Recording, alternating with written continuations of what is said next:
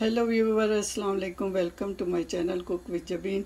आज हम आपको लजानिया बनाने की तरकीब बता रहे हैं चलते हैं रेसिपी देखते हैं